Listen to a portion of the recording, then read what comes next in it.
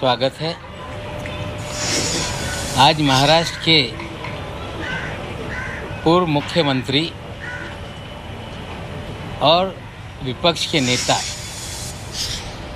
देवेंद्र फडणवीस जी ने घोषणा की थी कि दिवाली के बाद पटाखे फोड़ेंगे। हमें लगता है कि पटाखे भीग गए और आवाज़ नहीं कर पाए। एक माहौल खड़ा किया गया कि नवाब मलिक के बम ब्लास्ट के आरोपियों से संबंध हैं। मैं देवेंद्र जी, आप 1999 में इस शहर में शायद पहली बार आए, विधायक बन के। और बासठ साल के जीवन में इस शहर में आपसे पहले दिवंगत मुंडे साहब भी नेता थे जो दाऊद से लोगों को जोड़ते रहे। हम जब मंत्री थे, उस वक्त भी दाऊद को लेकर मुंडे साहब के बहुत सारे भाषण विधानसभा में होते रहे। लेकिन इस बासठ साल के जीवन में या लोक प्रतिनिधि बनने के 26 साल जीवन में इस तरह के आरोप कभी पे हम पर कोई लगा नहीं पाया। आज एक जगह को लेके आपने कुछ कागजात लोगों के सामने रखे।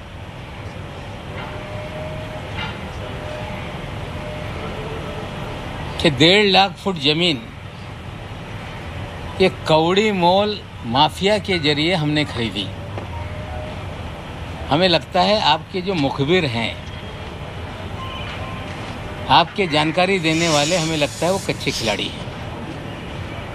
आप कहते तो मैं ही सारा कागजात आपको दे देता और भी कागजात आपको उपलब्ध करा देता। लेकिन आपने अंडर वर्ल्ड का खेल शुरू किया है। आज तो सारी चीज़ें मैं बोलूँगा नहीं, लेकिन कल सुबह दस बजे। देवेंद्र जी का अंडरवर्ल्ड का क्या खेल है इस महाराष्ट्र में? और देवेंद्र जी ने मुख्यमंत्री रहते हुए किस तरह से अंडरवर्ल्ड के ज़रिए पूरे शहर को हॉस्टेज बना रखा था? कल सुबह दस बजे उसकी जानकारी देंगे। लेकिन आरोप लगाया गया कि हमने डेढ़ लाख फुट ज़मीन खरीद ली कौड़ी मॉल में। देवेंद्र जी ने कहा कि जाली किराएदार उसमें बनाए गए।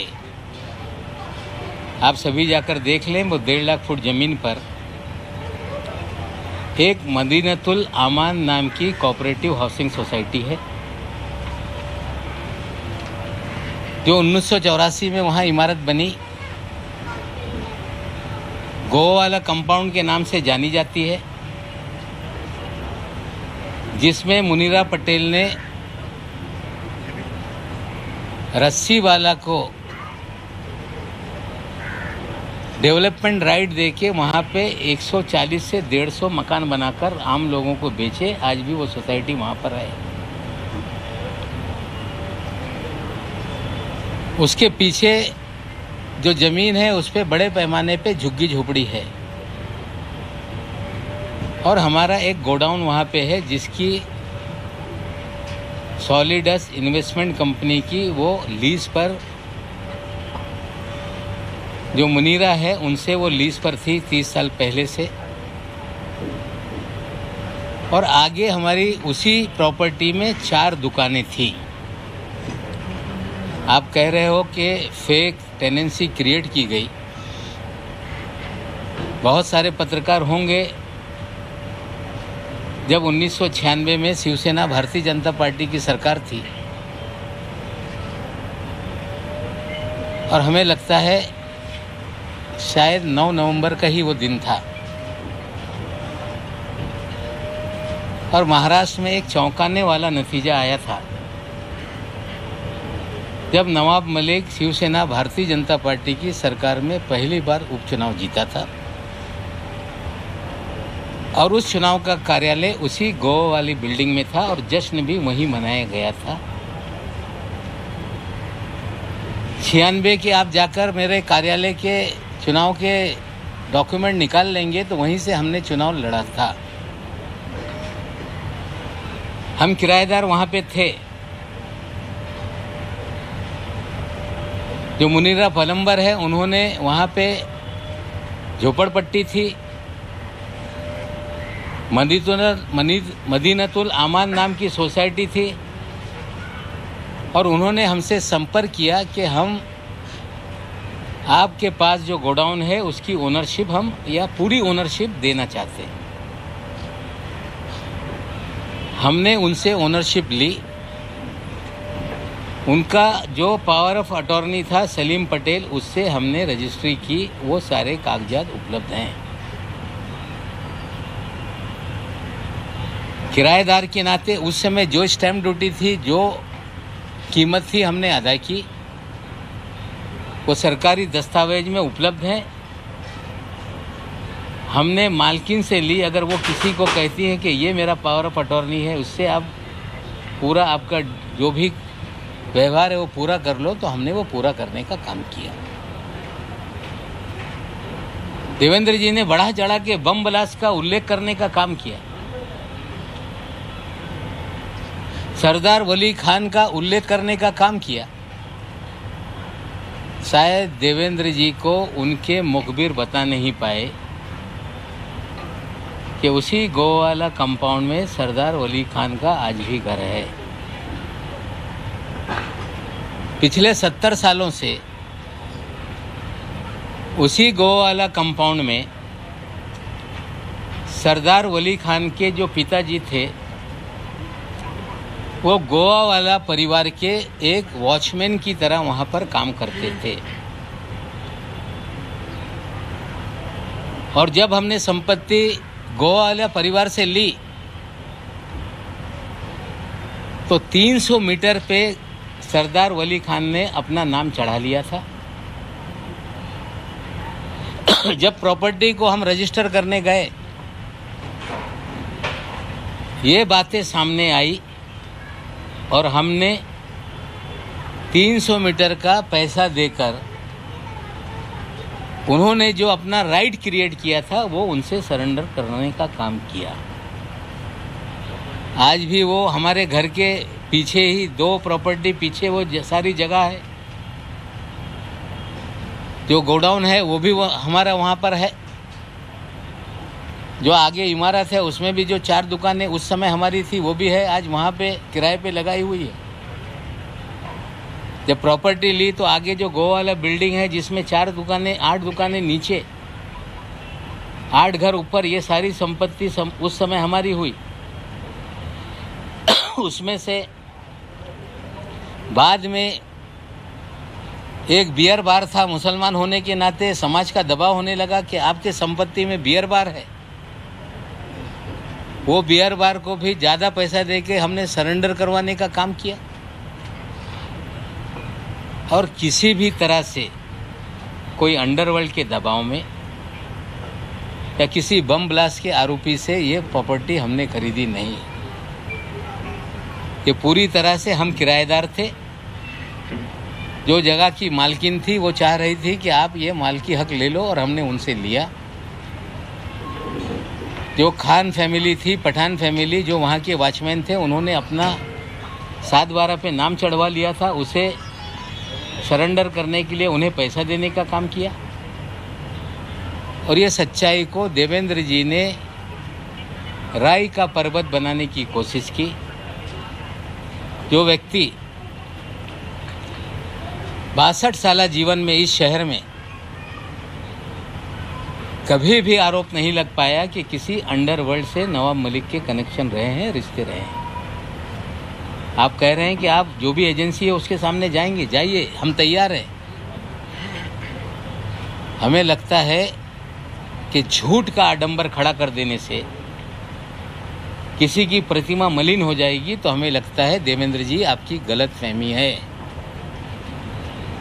जो कुछ है, सारे दस्तावेज़ रजिस्ट्री ऑफ़िस में है। कंपनी का जो भी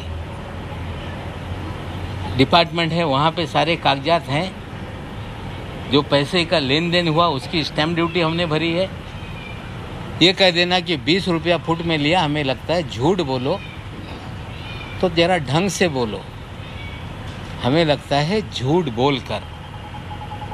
नवाब मलिक, जो पिछले सात साल से आपसे लड़ रहा था, पहली बार आपने इस तरह का आरोप लगाया सरासर बेबुनियाद है।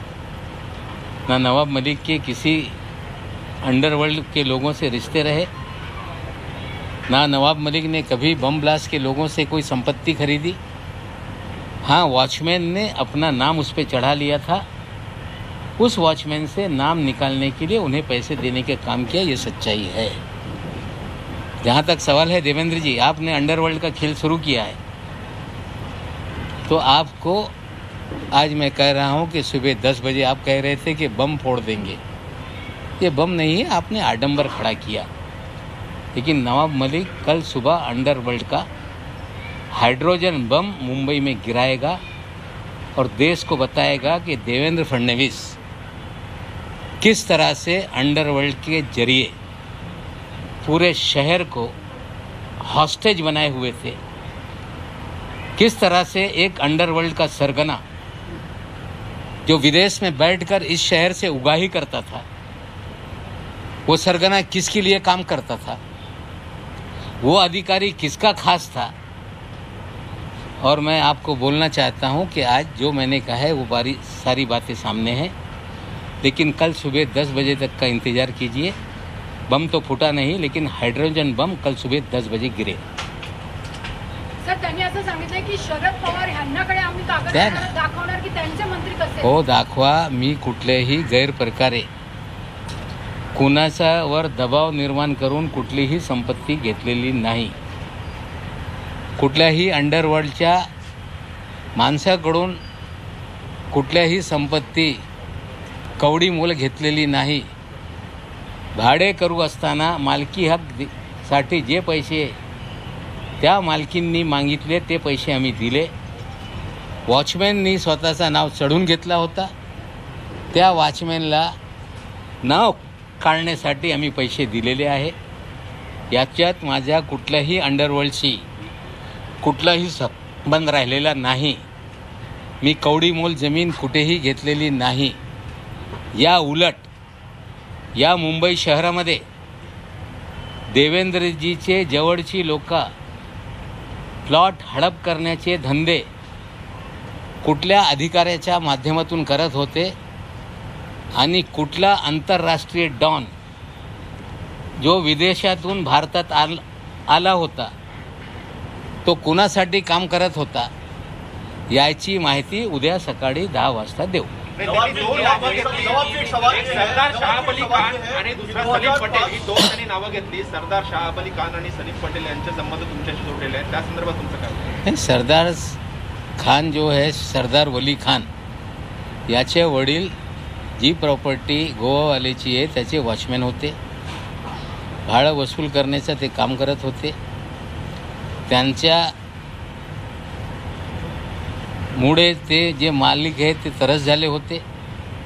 त्या सरदारनी सात बारेवर स्वतःचं नाव चढून घेतलं होतं तीनशे मीटरवर.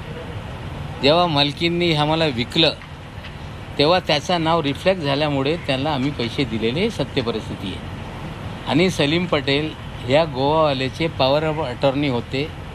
आणि ज्या मालकी मालकनी पॉवर ऑफ़ अटॉर्नी यांच्याकडून व्यवहार करून घ्या त्यांनी सांगितल्यामुळे हे सगळे व्यवहार म्हणजे भाडे करू असताना मालकी हक घेण्याचं काम आम्ही केलेलं आहे. सर एक सवाल ये है सलीम 2005 पटेल के में ऐसा आरोप ये है कि 2005 में जब 20 लाख रुपए का फ्लैट आता था तो 30 लाख रुपए में इतनी सारी ज़मीन कैसे आपने ली ये हाँ झोपड़पट्टी है आप जाके देख लें।